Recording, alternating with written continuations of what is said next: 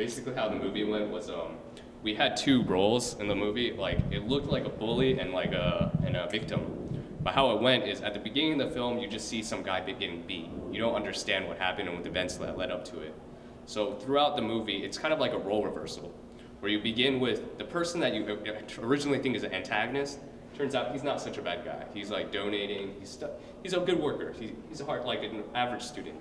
And then the other person that in the at the beginning of the scene where you do see get beat, he's a he's not so he's not so great of a person actually. He turns out to be he's a lazy guy. He doesn't he doesn't care about other people. He's inconsiderate. And so throughout the movie, you realize that it was justified. Like what you see, the violence, it may seem bad, but it doesn't seem as bad as it started. the shooting experience was really rushed for us because you don't notice that week goes by really quickly. So like for the first couple days, we're like, all right, we don't have a lot of midterms and stuff, so we like push it off to the side.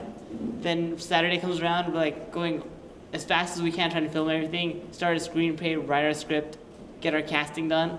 It was not enough time to get everything done, but we managed to get it all done, and Lots yeah, of late nighters. a lot of. First of all, our one of our biggest issues is finding out what movie we wanted to make, uh, like Storyline. the storyline. Genre. I mean, we, we came up with genres and everything. We had we had all the details, but we didn't have a general plot.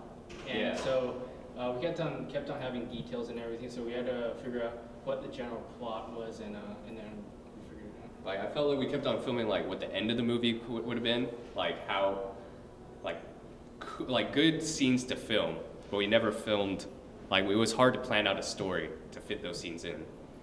Uh, overall, overall, it's uh, it was uh, pretty good uh, in my opinion because uh, considering the difficulties we faced, um, it was it was pretty good. I mean, uh, never actually been in a competition before, but so this is the first.